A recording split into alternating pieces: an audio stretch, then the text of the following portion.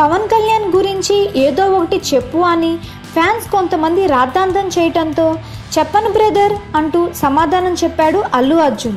ఆ విషయం పెద్ద రచ్చైపోయింది. దానితో చివరకు బన్నీ ఒక మనసు ఆడియో ఫంక్షన్లో తను ఎందుకు అలా అన్నాడు? కొందరు ఫ్యాన్స్ అరుపులు ఎంటైర్ మెగా ఫ్యామిలీని ఎలా బాధిస్తున్నాయో చెప్పుకొచ్చాడు. ఈ మొత్తం విషయం అటుంచితే ఇప్పుడు సెల్ఫీ రాజా సినిమాలో ఓ విలన్ ఎవడ్రా నువ్వు అంటే వెంటనే చెప్పను బ్రదర్ అంటున్నాడు థర్టీ ఇయర్స్ పృథ్వీ. వెంటనే ఆ విలన్ తిరిగి చూసుకుంటాం బ్రదర్. అంటాడో లేదో తెలియదు కానీ ఇప్పుడు సెల్ఫీ రాజా ట్రైలర్లో ఉన్న ఈ డైలాగ్ మాత్రం చాలా వైరల్ అయింది. చందమామ కాజల్ అగర్వాల్కి కెరీర్ పరంగా ఇప్పుడు బ్యాడ్ టైం నడుస్తోందని అంగీకరించాల్సిందే. ఛాన్సుల విషయంలో కాకపోయినా చేస్తున్న సినిమాల రిజల్ట్ విషయంలో మాత్రం తేడా కొడుతోంది. కొన్ని నెలల క్రితం అయితే ఈ అమ్మడు కంటే అదృష్టవంతురాలు ఎవరూ లేరనే పరిస్థితి.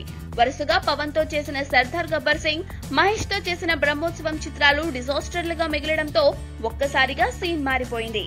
బాలీవుడ్ పై ఎన్నో ఆశలు పెట్టుకున్న ఈ సుందరాంగికి దో సోంకి కహాని పెద్ద షాక్ నే ఇచ్చింది. అయినా సరే ఆమె అదృష్టం ఎలా ఉందో తెలుసా? తమిళంలో గతేడాది నుంచి ఈమెకు బ్యాడ్ టైం నడుస్తూనే ఉంది.